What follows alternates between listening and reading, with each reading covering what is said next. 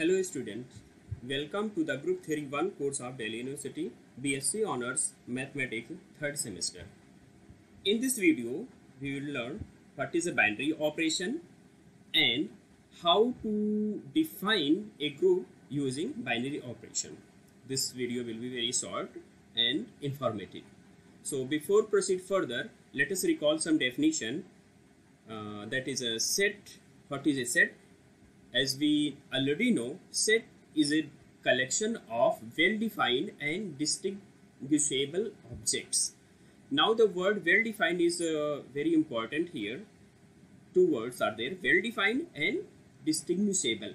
Well-defined means that there is a particular specific definition of that particular object and distinguishable means that we are able to identify that particular objects is belong to that particular collection or not. For example, if I say that is n is a natural set of natural number, then we already know that uh, it contains 1, 2, 3, 4 and so on, these many elements. So there is no ambiguity that uh, one belongs or not belong. When we say 1, number 1, then it will be the member of this n or we say that is collection of uh, all alphabets. So a b c english alphabet. So up to z. So there is will be no ambiguity. Everybody will say this element belongs to this set s set. But when we say for example that s is a collection of all good players. So here the word good is not defined. The word good is not defined here. Because i may say that particular person X is a good player and someone else may say that Y is a good player because there is no particular definition of the word good. So, uh, the set is a collection of well-defined and distinguishable objects. So, now think, I think that uh, it is clear to you what we shall mean by well-defined and distinguishable objects. So, next thing is function. What is a function? Function on a set S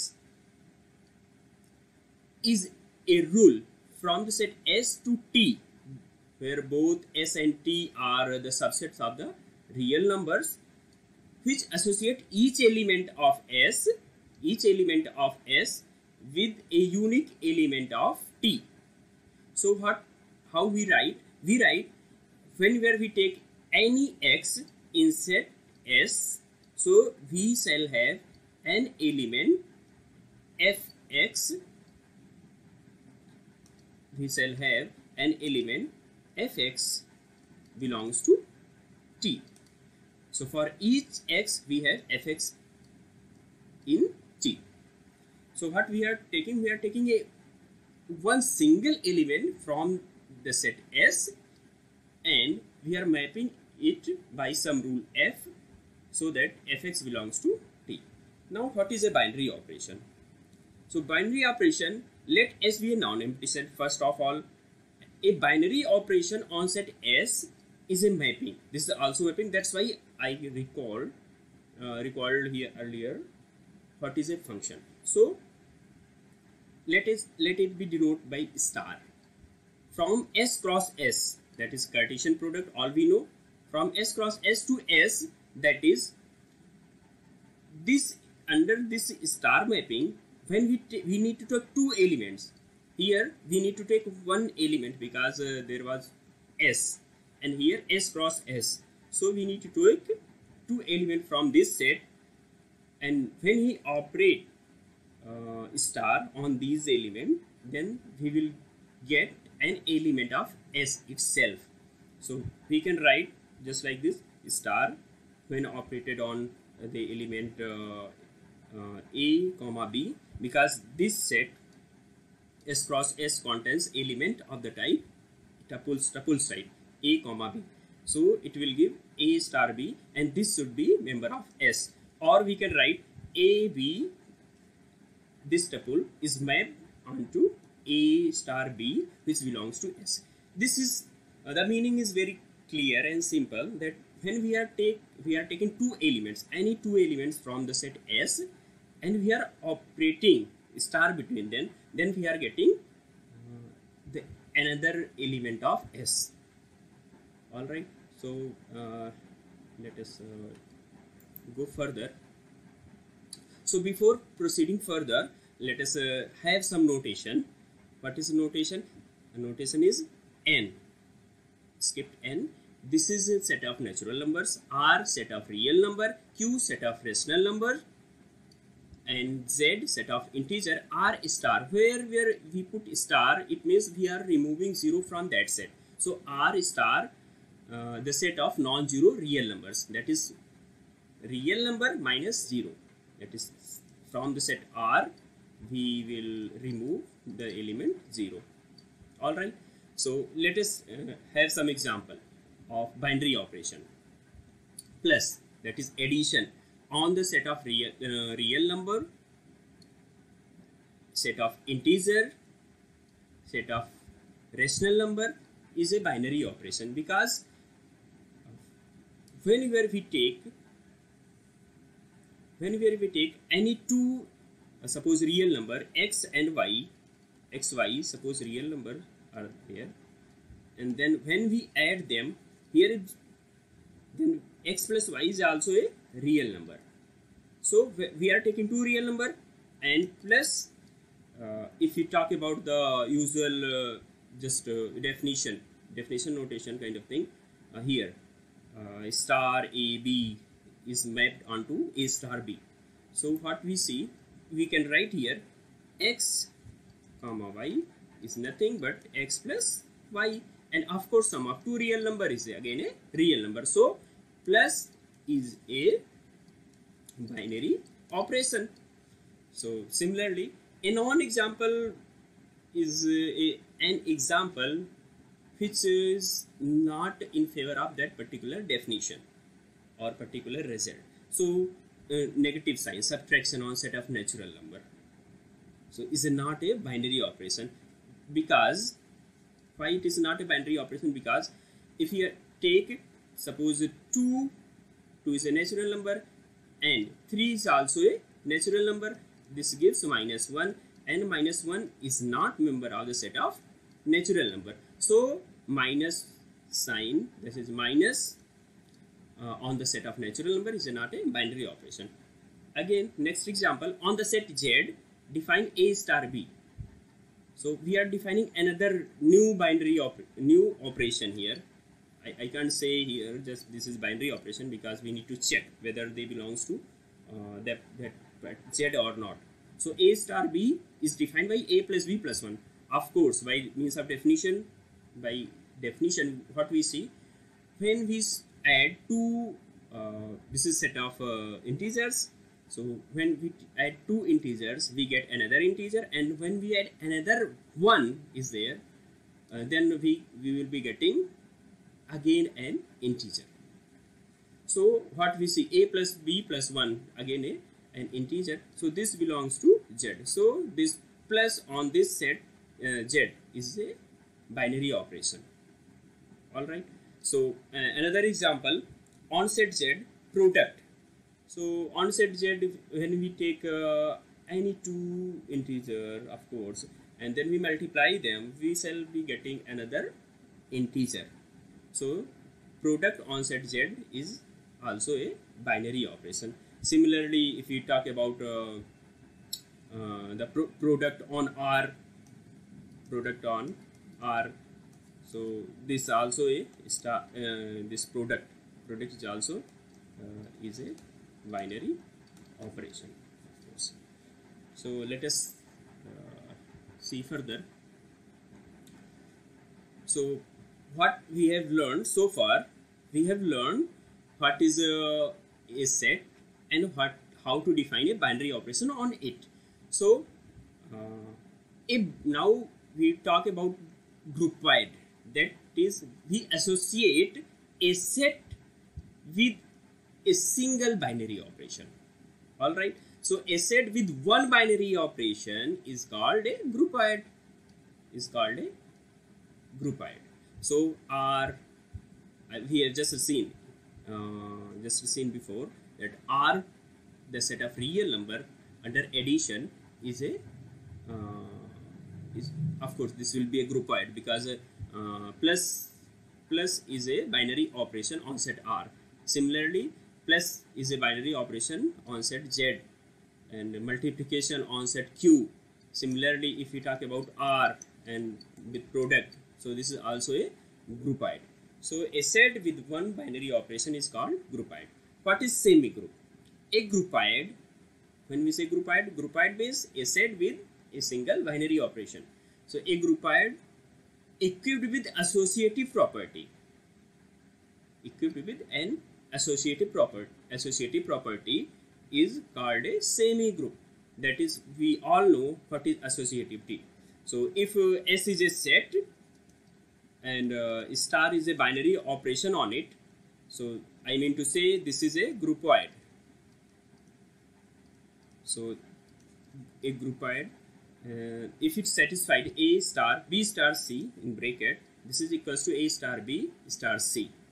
So this holds if it holds for all a b and c then we say that this uh, this s satisfies associative property under the operation star so a groupoid with associative property is called semi-group now another uh, step ahead monoid a semi-group so what is semi-group? Semi-group is a groupoid with associativity.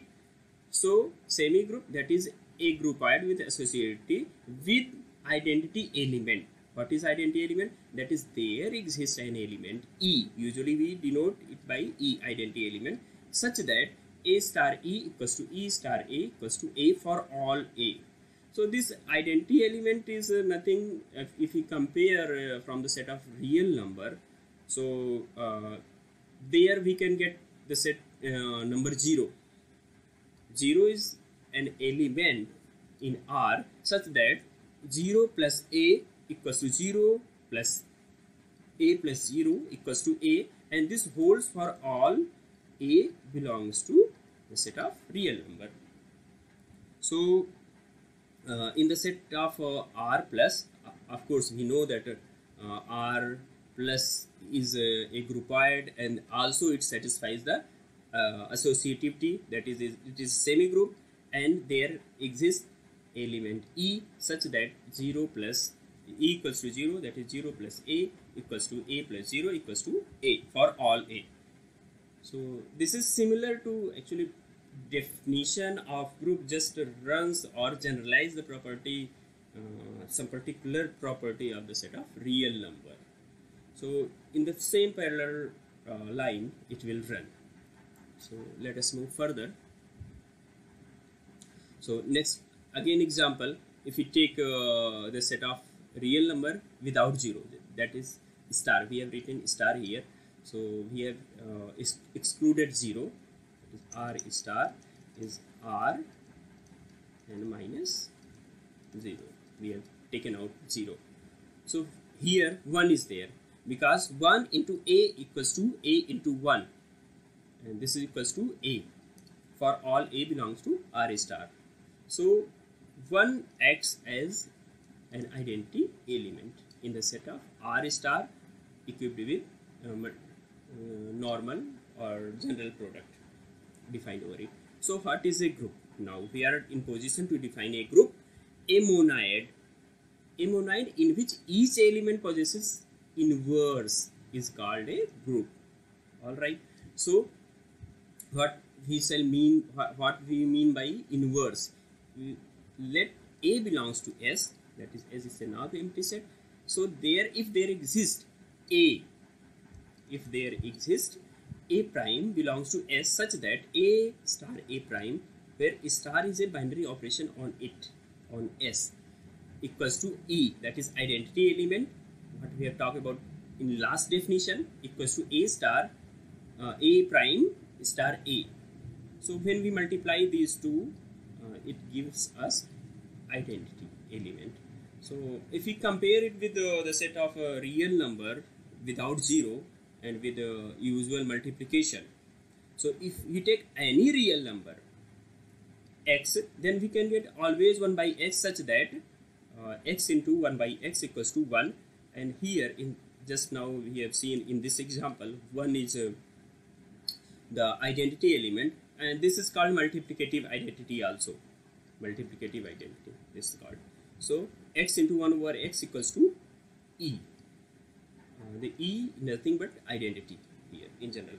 So for example in particular case if you take 5 then we can get easily 1 by 5 so that uh, uh, 5 into 1 by 5 equals to 1 another example r plus. The set of real number with usual addition. So here the identity element is 0 it is also called additive identity. So for any x belongs to r there exists minus x belongs to r such that x plus minus x equals to 0 and 0 that is it. Identity this can also be written as uh, minus x plus x. So this holds for all x belongs to so whenever we take an element uh, in the set of real number we get minus x uh, when we take uh, the usual addition with uh, the set of real number.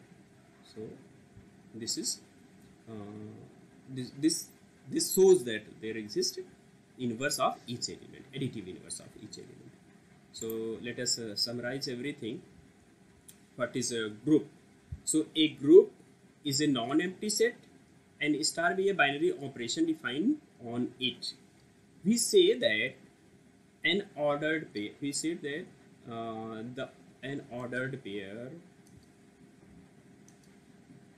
say that an ordered pair G star uh, is a group if it is associative, it uh, possesses inverse, uh, sorry, identity, it possesses identity, and each element possesses its inverse. So in that case, we say that G star is a group. So what uh, we can write further we can write uh, set plus binary operation is groupoid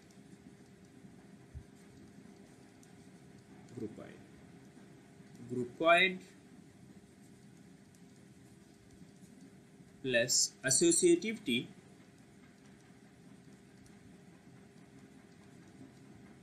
this is uh, semi group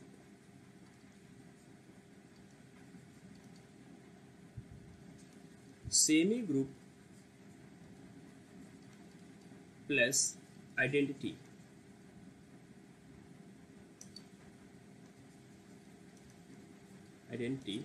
and this implies monoid. Monoid plus existence of inverse. This implies a group. So this is what uh, we have learned in this lecture so far. So in the next lecture we will learn some uh, we will learn we will discuss some examples of a group and some properties of group. Thank you very much. Thank you very much for watching. See you in the next video